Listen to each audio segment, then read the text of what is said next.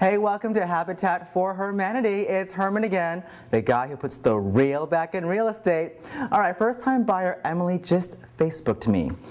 What are some things to watch for when buying my first condo, Herman? All right, first off, Emily, congrats. Condos can be a great choice for a starter home, but keep your eyes peeled for red flags. Number one, high HOA fees but no amenities. Like, where's all that money going to each month? You gotta ask. Number two, low reserves in the bank and upcoming assessments. See, if the building has a major repair in the near future and reserves are low, guess who's gonna have to cough up that moolah to pay for it? You and all the other owners. Mm, not fun. And number three, pending HOA litigation. Well, that's self-explanatory. And number four, owner occupancy rates. More owners means more pride of ownership.